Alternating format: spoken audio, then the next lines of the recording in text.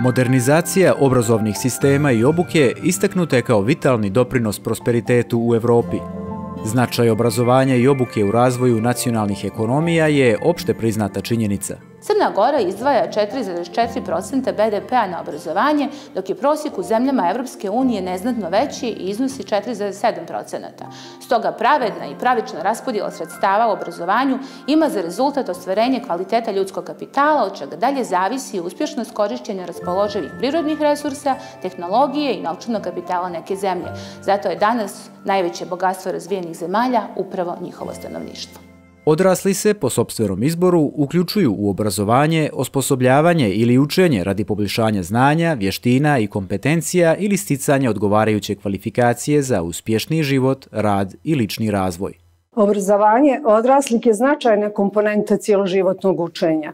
Cijeloživotno učenje se ostvaruje kroz različite vidove formalnog obrazovanja, neformalnog obrazovanja, informalnog obrazovanja i samousmjerenog učenja.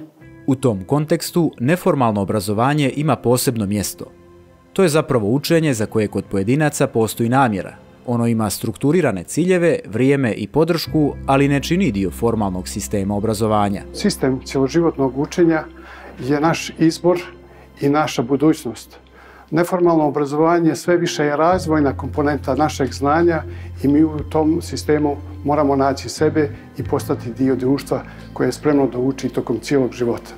Zavod za zapošljavanje je centralna institucija na tržištu rada Crne Gore, koji organizuje i finansira ukupne troškove programa obrazovanja i osposobljavanja nezaposlenih lica u zavisnosti od potreba tržišta rada.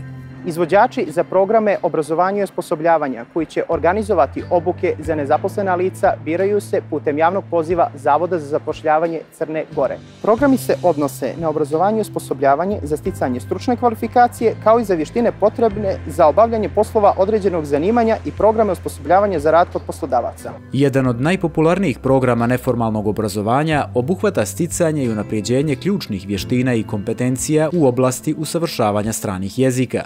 Škola stranih jezika Waves iz Budve licencirana je za rad u obrazovanju odraslih.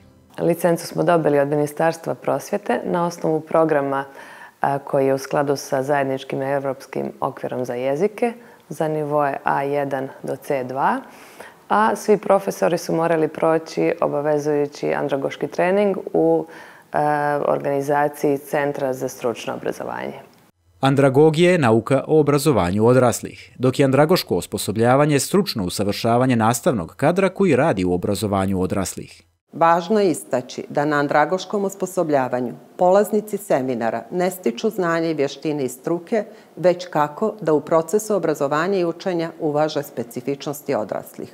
Škola ima četiri stalno zaposlena nastavnika engleskog, dok profesorice španskog i italijanskog rade part-time. Ono što je meni jako važno je da u školi Waves nismo nikad zapravo pratili školski program, nego smo radili po programu koji smo sami osmislili, ministarstvo odobrilo, a to je komunikativni pristup. Dakle, kreće se od funkcije u jeziku i sintaksa i gramatika se kroz jezičke funkcije, kroz situacije usvajaju na vrlo lak način. Pored polaznika u školi Waves, odrasli imaju pravo i mogu steći stručnu kvalifikaciju direktnom provjerom znanja, vještine i kompetencije bez obzira na način njihovog sticanja.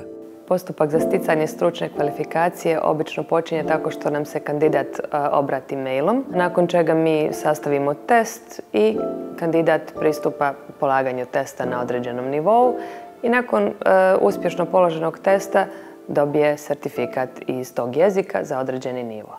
Također, ukoliko je zaposlen, polaznik obrazovanja ima pravo i na odsustvo sa posla. Po zakonu e, ima pravo na odsustvo do sedam dana, E, također ima pravo na skraćeno radno vrijeme ili raspoređivanje radnog vremena. Vrsta odsustva zavisi od e, složenosti i dužine obrazovnog programa i stvari dogovora poslodavca i polaznika. Svi ovi postupci podstiču društvo, ali i pojedince da investiraju u svoje obrazovanje i učenje, jer se motivacija povećava ukoliko postoji mogućnost da se ono što nauče prizna i cijeni na pravi način. Najvažnija je motivacija. Motivacija za učenje jezika je nešto bez čega nema uspjeha. E, talenat je važan naravno, ali ako nema motivacije i ljubavi za ono što učite, e, uspjeha nema. Morate biti motivisani.